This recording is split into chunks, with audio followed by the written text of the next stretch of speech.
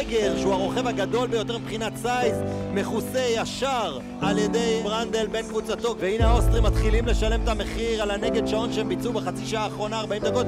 דיברנו על זה. הם לדעתי צריכים להיות יציבים. מקסימיליאן ברנדל וג'ורג' איגר כבר נמצאים כאן איתנו. אפיק ישראל! סטייג' שני ברציפות, האוסטרים שכבר התפרקו, עוברים את האמריקאים.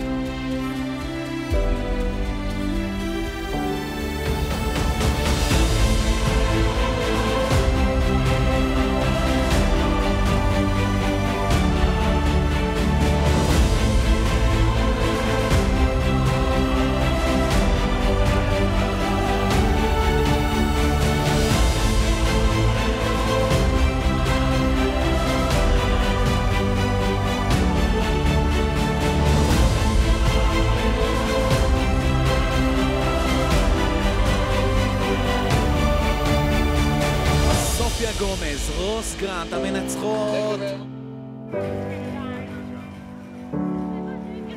בוא נדבר על המעבר הראשון באפיק ישראל.